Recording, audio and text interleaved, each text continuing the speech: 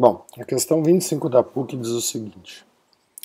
Uma caixa com um litro de leite tem aproximadamente um quilo de massa, considere gravidade 10, se ela for levantada verticalmente com velocidade constante. Qualquer exercício que tenha a palavra velocidade constante sublinha, porque aqui vai estar a solução. Uh, tu tem uma caixa de leite. Qual é o nome da força que vai puxar essa caixa para baixo? O peso. E a gente, para erguer a caixa, vai ter que fazer uma força para cima. Se a velocidade é constante, o módulo dessas duas grandezas são iguais. A força e o peso têm que ser iguais.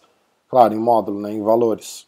Justamente porque se a velocidade for constante, a força resultante vale zero, né, pessoal? E aí, em módulo, as duas têm que ser idênticas. Então, pede a potência desenvolvida. Potência é trabalho sobre tempo. Mas tem um ou, né? Potência é força vezes velocidade. Não pode te esquecer dessa aqui, tá? Então o que, que acontece? A força que eu faço é idêntica ao peso. A massa é 1 kg, o peso é 10 newtons, né? Multiplica por 10. Então a força que eu estou fazendo é 10. E a velocidade, bom, aí diz aqui, né? 10 centímetros em 1 segundo. Aí eu tenho que calcular a velocidade. Então, velocidade, uh, distância que andou pelo tempo que levou. Uh, tudo no SI, tá? Então, 10 centímetros são 0,1 metros num tempo de 1 segundo. Então, a velocidade é 0,1 metro por segundo. Então, a potência é 10 vezes 0,1. Então, a potência é 1 né? watt. Essa é a potência. 1 watt, 1 vezes 10 na zero. Deram uma inovadinha aqui, né? Beleza? 25 diz o seguinte: um corpo de massa m desliza sobre um plano horizontal com velocidade constante. Velocidade constante sublinha, força resultante vale zero. Sabendo que existe uma força de atrito cujo coeficiente é 0,5 entre o corpo e o plano, e após ter percorrido uma distância de 20, o trabalho da força de atrito foi menos 2.000 joules, podemos afirmar que a massa m em quilogramas do corpo é d. Bom, o que acontece aqui então, né?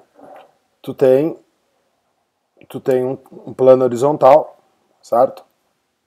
Esse corpo está sendo puxado para frente por uma força F. Contra essa força F existe o atrito. Eu sei que em módulo essas duas forças são iguais, né? De novo, né? o valor de F é igual ao valor da força de atrito em módulo justamente porque a força resultante vale zero. Bom, ele me deu que após percorrer 20 metros, o trabalho da força de atrito foi menos 2.000 joules. O trabalho da força de atrito, nesse caso, é força vezes deslocamento vezes o cosseno do ângulo. Né? O trabalho da força de atrito foi menos 2.000, então menos 2.000. A força de atrito eu vou querer saber, não sei o valor dela o deslocamento foi 20 metros e o cosseno vai ser menos 1. Né? Porque o atrito sempre, o deslocamento vai estar tá aqui, né? Esse aqui vai ser o vetor delta D. É, o atrito sempre realiza trabalho negativo, porque o ângulo dele é 180 em relação ao deslocamento. Então, cosseno é menos 1, mas aqui é só, era só o sinal, tá? Uh, daria um atrito negativo se tu considerasse o sinal, mas tudo bem. Então, o que, que eu vou ter aqui?